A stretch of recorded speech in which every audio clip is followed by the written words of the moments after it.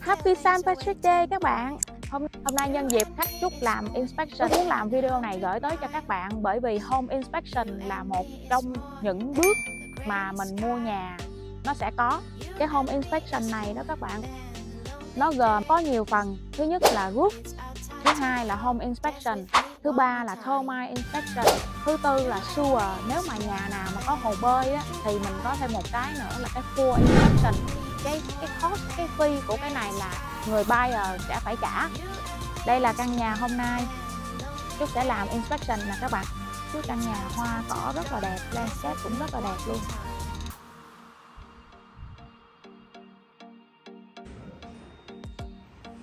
Come here and visit my world. It history, shining stars. Our love is the only way.